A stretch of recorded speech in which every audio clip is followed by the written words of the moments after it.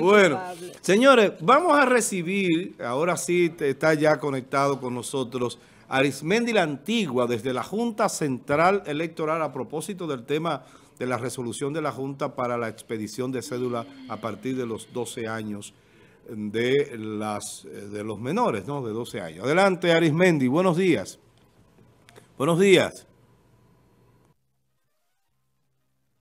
Personas que cada día sintonizan toda la programación que el Grupo Telenor ha preparado para ustedes. Efectivamente, en esta ocasión me encuentro en la Junta Central Electoral de San Francisco de Macorís, ya luego de la declaración del Pleno de dicho órgano, encabezado por su presidente Julio César Castaño Guzmán, quien dispuso mediante la resolución 74-2020 la autorización de la expedición de cédula de identidad a todas las personas menores de edad a partir de los 12 años cumplido y excepcionalmente a niñas menores de 12 años de edad en estado de gestación o madres menores de 12 años de edad, a los fines de que el nacimiento de los hijos e hijas esta puedan estar debidamente inscrito en el registro civil. En tal sentido, la resolución puntualizó que la expedición de una cédula de identidad a menores que hayan cumplido los 12 años no es más que un documento único para la identificación del mismo y bajo ningún concepto habilita al menor de edad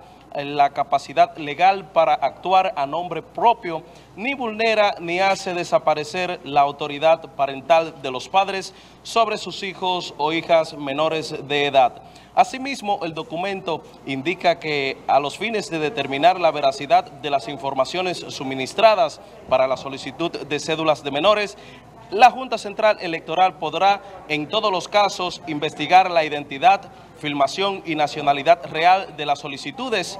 Además, reiteró que los oficiales de Estado Civil podrán recibir las declaraciones de nacimientos de niñas, eh, niños o madres menores de edad con la presentación de la cédula de identidad del menor y el cumplimiento de los demás requisitos que establece la ley número 659 sobre actos civil en fecha registrado del 17 de julio del 1944, según se trate de una declaración de nacimiento oportuna o tardía. Finalmente, indicó que con la finalidad de promover la implementación y difusión de las medidas adoptadas en las presentes resoluciones, se realizará una amplia campaña educativa, especialmente en los centros educativos y centros de salud permanecientes al sector público para informar y educar a los jóvenes madres que asisten a dichos centros. Nosotros hicimos lo propio por contactar